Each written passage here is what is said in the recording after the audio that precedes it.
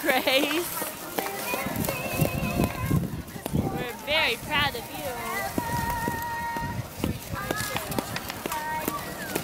Uh,